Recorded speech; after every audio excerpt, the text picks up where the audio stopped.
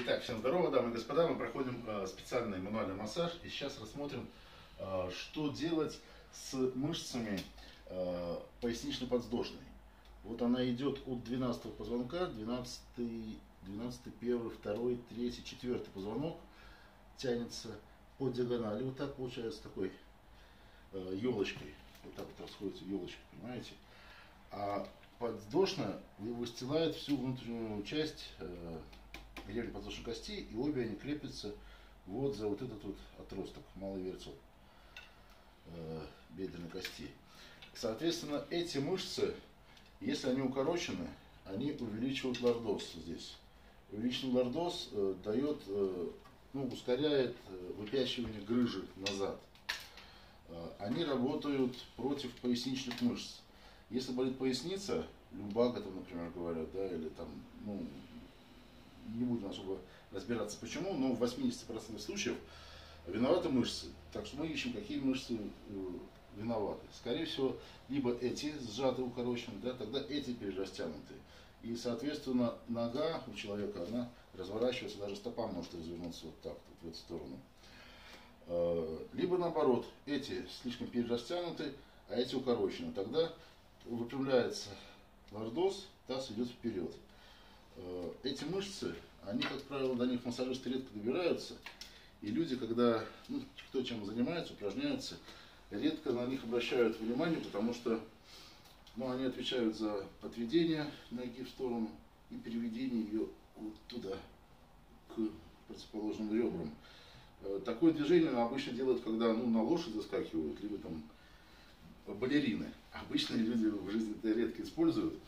Поэтому вот чтобы проверить, протестировать ее, а, поднимаем ногу под 45 градусов вверх, 45 градусов, не, не слишком много, вот 45 градусов. 45 градусов в сторону отводим и 45 градусов ротация. Вот, держи так ногу на весу, я давлю, ты сопротивляйся. Ну, крепкие, они хорошо работают. Теперь то же самое с этой стороны. Во, видишь, а тут слабее. Видишь, оно меньше держит. Значит, по идее, нам надо включить вот, вон ту мышцу. А, как ее включить? Давай тогда, знаешь, как перевернись э, лицом туда, голову туда, ногами сюда. Так, на, на спину, на спину. Значит, будем работать только с этой стороной.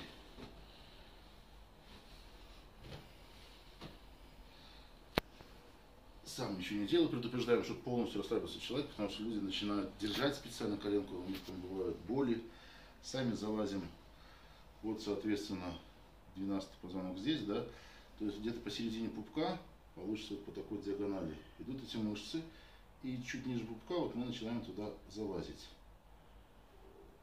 Выдвигаем илицекордальный клапан, тонкий кишечник проходим мимо, и вот упираемся прямо в эти мышцы. Не больно? Ну, Если колет, да, то опять выйдете и попросите его, пропусти, пропусти меня, мою руку туда, да, тогда он как бы расслабится и даст вам ход. Вот, захватили за ногу, сам ничего не делай, и начинаем эту мышцу разрабатывать. Как бы щупаем, вот видишь, не идет, отпускай, отпускай, ногу отпускай, о, или больно было.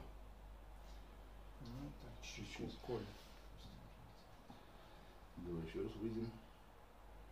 Вот придавили их. Сейчас нормально? Все равно коль. Тогда поменяем угол, может повыше чуть-чуть. Здесь мягче. Mm. Колет, э, тут надо еще понять. Кишечник. Кишечник, скорее всего. Полный может быть. Давай тогда пониже, может, возьму. Вот так. Колет. Ну ладно, потерпи. Чуть-чуть.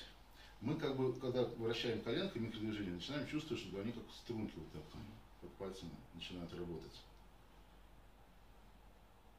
Держишь? Потихонечку, потихонечку увеличиваю амплитуду в эту сторону. То есть идем туда, где боль. Вот здесь напрягаешься, расслабься, расслабься, расслабься. Во, во, во, расслабление. И на сжатие в эту сторону тоже проверяем. Теперь э, поясничные. Это были поясничные, теперь подвздошные. Прямо вот за косточкой. Так где-то э, складку сантиметра откладываем. Или два, чтобы больно не было. И заходим вон туда. Не больно? И начинаем те же самые движения. Вот, если больно, например, вот так вот в этом направлении, раз поймали боль, да, то совсем микро-микро движения такие вот начинаем ее разгружать, разгружать, разгружать. Не больно стало, идем дальше. Раз. И еще поймали следующую боль. Проработали. Так, потихонечку прорабатываем. А сюда видишь не идет. Отпускай немного. Бедро, бедро, отпускай. Во. Не больно?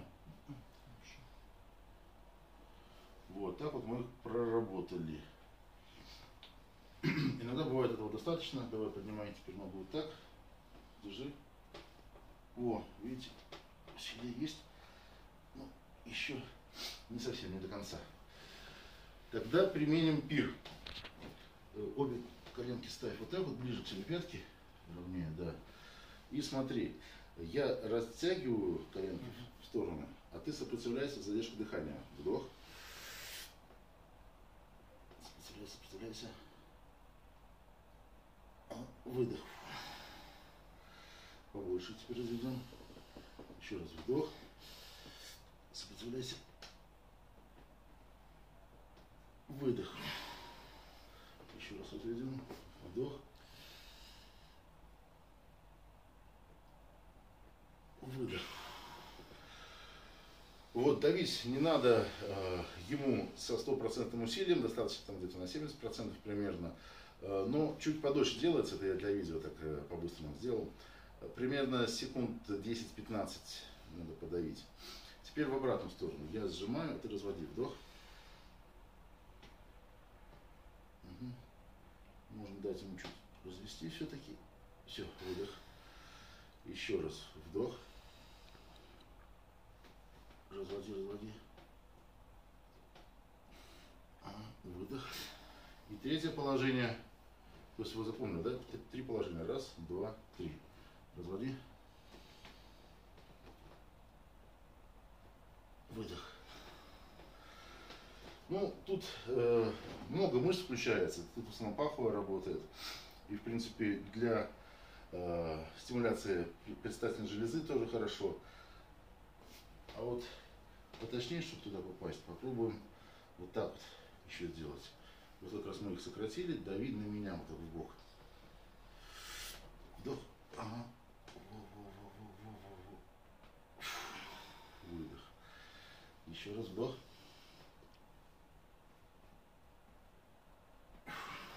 Выдох. Это на сокращение этих мышц, а теперь на э, удлинение этих мышц. Дави вот в эту сторону, по одному плечу. Вдох. Выдох. Вдох. Все, выдох. На выдохе, естественно, плюхаемся и расслабляемся. То есть смысл в том, что после изометрии, э, то есть создаем излишнее статическое напряжение, после него приходит расслабление. Теперь смотрим, вот так вот, держу ногу на весу. О, смотрите, уже как... Прям, прям реально, видите, сильнее стало на наших глазах. А мы провели буквально сколько там, минуты 3, 4, 5, да, и они, и мышцы заработали. До новых встреч, друзья. Обязательно подписывайтесь, приходите к нам на тренинги, коллега Алафа Гудвину. Он у нас еще и не такому научит. До новых встреч. Поставьте лайки.